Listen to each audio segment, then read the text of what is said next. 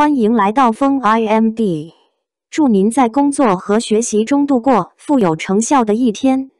我们邀请您与我们一起观看今天的新闻：迪丽热巴是当代的顶级流量吗？迪丽热巴自从《三生三世枕上书》迅速走红以来，她的人气就一直居高不下。热尔后期一直没有什么拿得出来的影视作品。但是在参加了《极限挑战》与《奔跑吧》都取得了不错的成绩。但是在去年里，凭借《长歌行》与《你是我的荣耀》再度热火朝天，将关于自己的话题和热度维持在很高的顶级水准。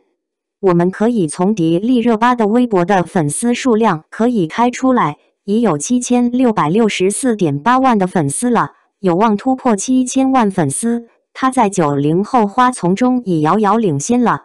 粉丝量也高的吓人，也有很牢固的基础。这个可以从迪丽热巴的微博发文的转发量看到明显的优势，基本都是一百万加以上，互动量也惊人。所以迪丽热巴的人气高、流量大的明星。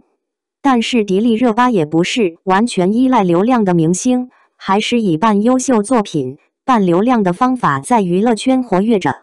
迪丽热巴算是一个特变的存在。有一些时尚品牌的作品，但是他以前始终难登大雅的作品拿出手。虽然有一部《三生三世枕上书》很火，但是人们往往只是记住了这个女孩长得很超凡脱俗，也有被吐槽演技不精。这其实与他的团队有关，依靠打造流量的运作发展轨迹，倒是实现了流量最大化。